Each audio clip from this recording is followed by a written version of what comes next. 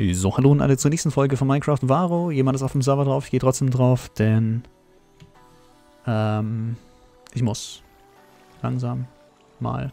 Ne? Und äh, ich denke mal nicht, dass Felsen gerade in der Nähe ist, unter anderem. Hoffe ich mal. Also er weiß, dass ich überhaupt gar keine Supplies mehr habe und äh,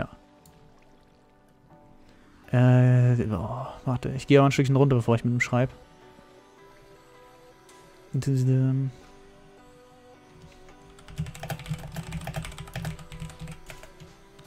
Hab nichts mehr zum Fighten. Ich werde ein bisschen hier durch sneaken und äh, gucken, ob ich ein bisschen Gold kriege und mit ein paar Leveln noch ein kleines bisschen hier ähm, Zeug zusammenkriege und äh, ja.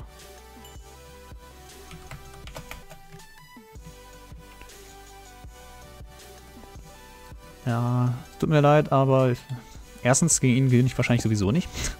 Ich warte mal ab, was sich so ein bisschen entwickelt demnächst. Und zweitens, ähm, ich habe wirklich keine Ressourcen mehr. Ich habe alles verballert.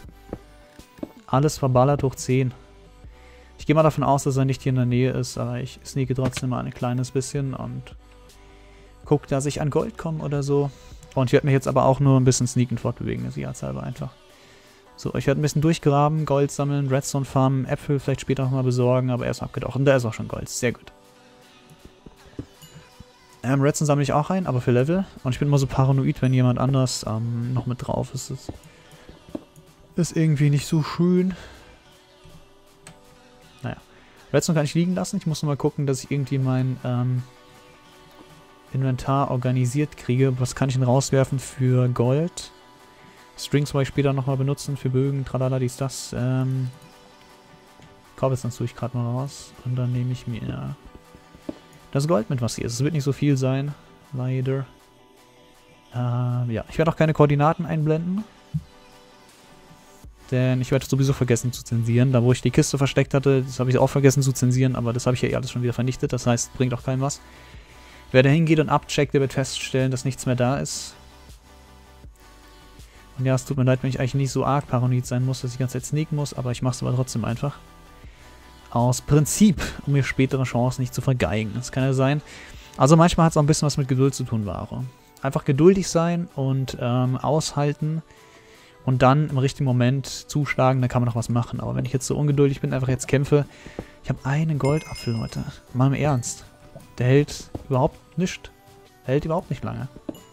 Kann ich gleich vergessen. Kann ich mir sparen, brauche ich gar nicht hingehen. Und ja, kann ich mich genauso gut in Lava stürzen. Also ich habe ja schon gefragt, wie sieht es aus? Spark fighten? Ich so, nach drei Fights, nee. Ich habe nichts mehr. Da kann ich mich genauso gleich in Lava stellen, weil ich keine Chance habe zu gewinnen ohne einen Apfel. Der hat bestimmt einen Stack-Äpfel übrig oder so.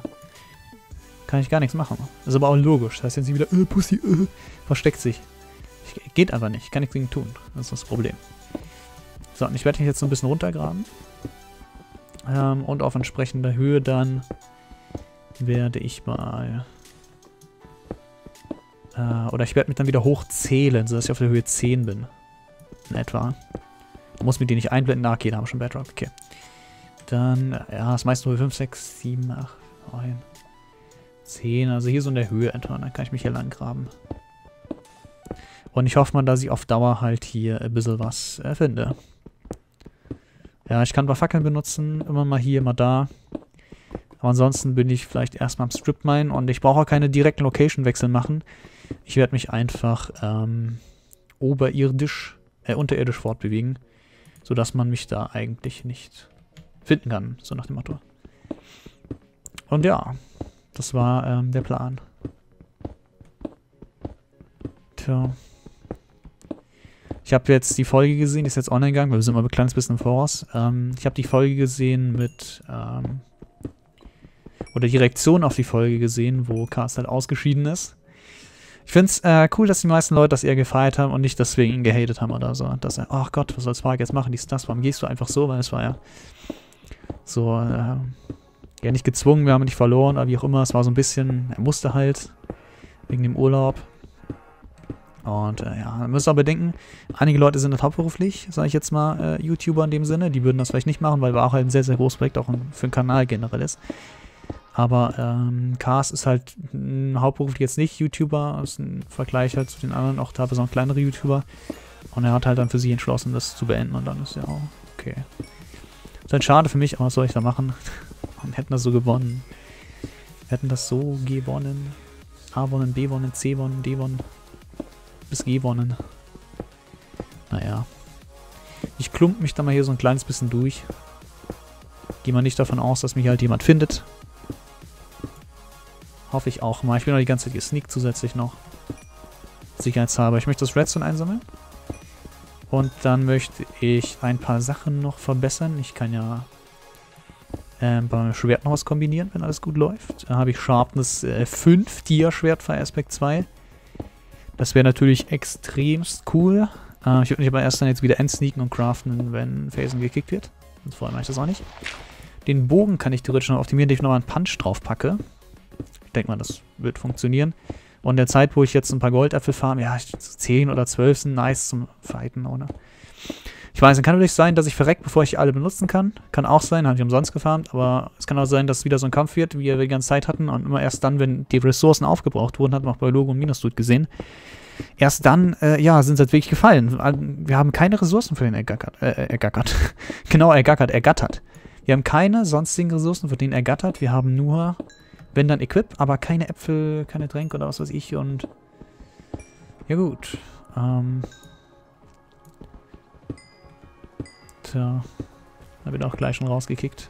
Also auf, jetzt wird gleich da kann ich gekickt werden. Oh mein Gott. Nein, wahrscheinlich nicht. Also ich bin ziemlich hier am Arsch der Welt. Gerade noch unterirdisch und sonst wo versteckt.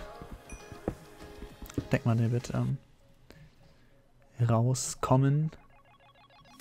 Oder so. Ja. Und dann so runtergekickt. Okay. Dann kann ich mal ganz kurz gucken, was ich hier mit eventuell ähm, Armboss machen kann. Klonk. Äh, eigentlich reicht noch einer. Mal gucken. Hoff mal, dass der jetzt nicht Haltbarkeit verliert, aber Sharpness 4, Fire Aspect 5, Sharpness 4. Kostet 21 Level und andersrum kostet halt 29 Level. Ja. Ähm. Ansonsten die Hose. Ah, nee, ja, ich habe ja schon Protection gesagt, die müsste ich mal reparieren angefangen. Aber das hat äh, nicht so hohe Priorität. Und auf den Bogen wollte ich Punch drauf machen. Äh. oh mein Gott, das Inventar jedes Mal. Weißt du, ich habe so viele Pfeile. Ich, ich habe 100 Chicken-Federn. Ich, ich habe Entscheidungsprobleme. Ich habe übelste Entscheidungsprobleme. Ich kann mal nie sagen, ja, was soll ich jetzt wegwerfen, was behalte ich. Fortune lohnt sich halt zum Abbauen vielleicht, wenn du die oder irgendwas findest, nochmal.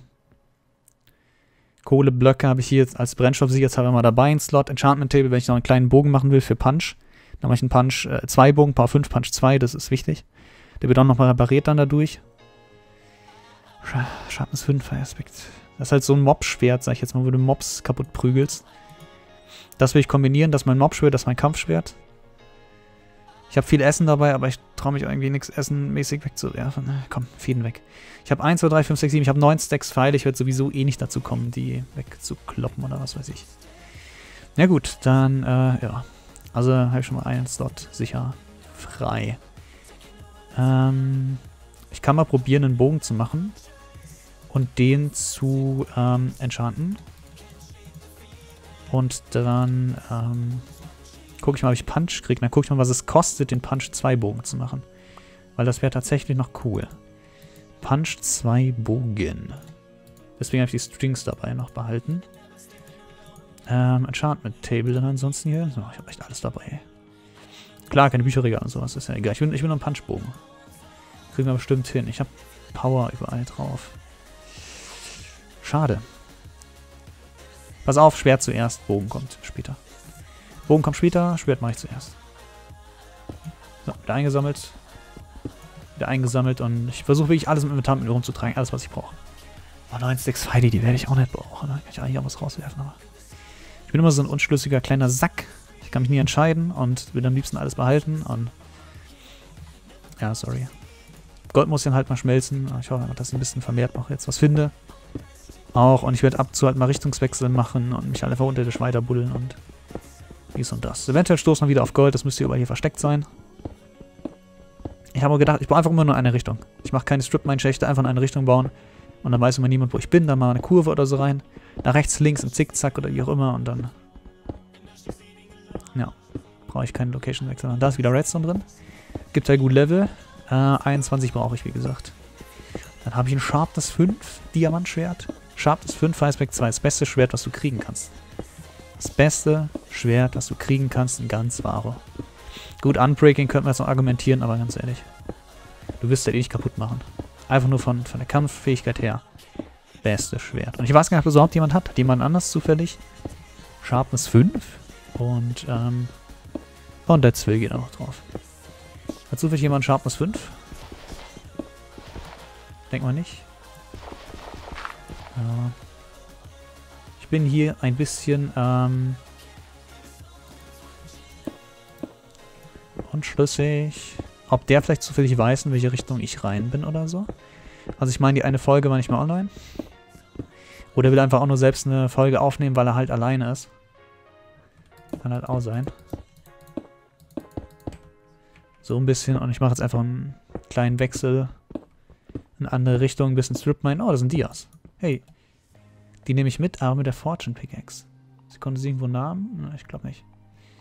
So, Efficiency 4 und Fortune Pickaxe. Hui. Noch einer irgendwo? Nö. Ah, doch da. Ich wollte gerade sagen, kann nicht sein, dass, dass es nur ein Einzelner war hier. Ich drehe mal meine Sounds ein bisschen lauter einfach.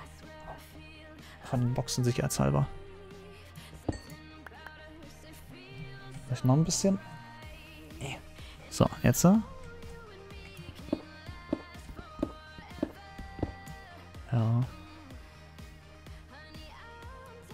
Hoffen wir, dass das reicht.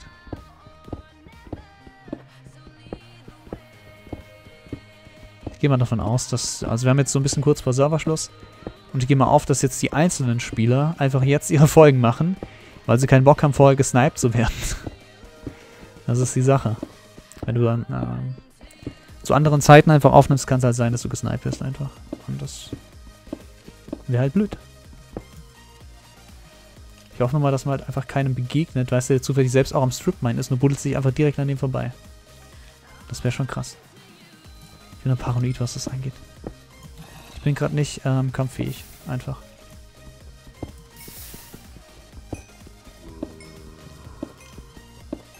Ich bin gerade einfach nicht kampffähig.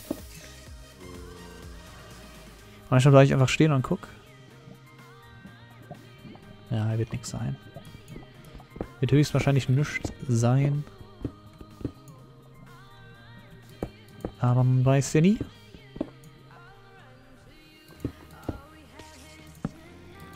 Safety first und so. Ich brauche ein paar mehr Goldäpfel. Vielleicht treffe ich ja nochmal auf Höhlen. Das wäre ganz cool. Aber ähm, weiß mal nicht. Komm schon, wäre cool, wenn ich in, Folge, in der Folge noch hier das... Was sind wir?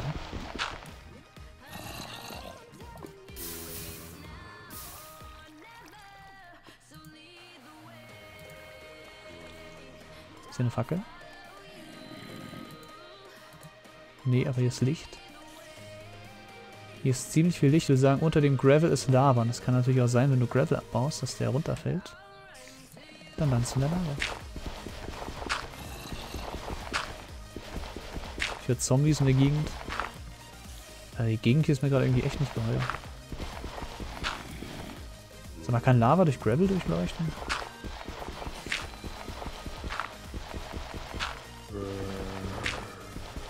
Wo kommt denn hier das Licht her?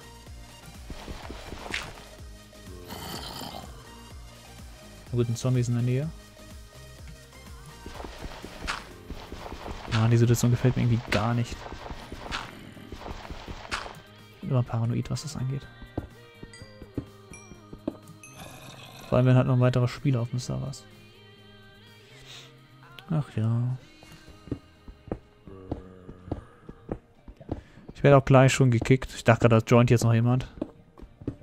Na man. Tja, dann würde ich sagen, hat es nicht gereicht in dieser Folge. Level 18 habe ich. Oh, hier hinten ist ein bisschen... Okay. Da kann ich mich vielleicht gleich äh, rausbauen in eine Höhle und was ich gucken, was da abgeht. Und ja, da bin ich halt erstmal raus, würde ich sagen. Mache einen schönen Screenshot. Und dann ähm, sieht man sich in der nächsten Folge. Und vielleicht gibt es ja ein bisschen mehr Gold. Ist mal nur zwei. Naja. Dann bis demnächst, das Krachen und tschüss.